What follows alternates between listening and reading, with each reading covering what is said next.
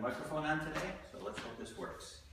So, Phil asked a, uh, good question earlier in class about the angle at which you want to punch somebody.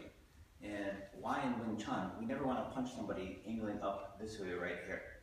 And the reason for that is, is understanding the kinetic chain of which things work, uh, which we're trying to develop our personal understanding and overall body coordination in Wing Chun.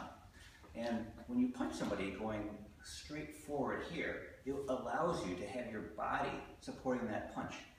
And when your body's supporting it, if your legs are positioned correctly as well, then your legs are going to be supporting your body. And ultimately, it's going to be the ground that's going to be supporting that whole structure at one time. But to, to understand that kinetic chain means that you'll understand why we want to punch going forward this way. If I punch somebody going up, let's say is El oh, Gigante compared to me, and I'm down here, I never want to come in and punch going up this way. The more that this punch angles up means the more that my lower back is going to be involved. The more my lower back is going to be involved as my punch angles up, meaning that I'm going to be breaking that kinetic chain.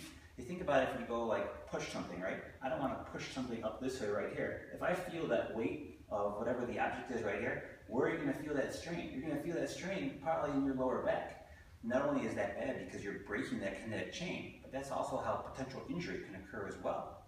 So when that kinetic chain is functioning properly, you'll understand, and more importantly, you'll feel that leg to body to arm support. But to feel that, to make that work, to make that function naturally, means that I have to be able to push forward with the arms, going towards the object, whatever it is that I'm going to be striking or attacking. So the more I angle up this way, the more that kinetic chain is going to break down.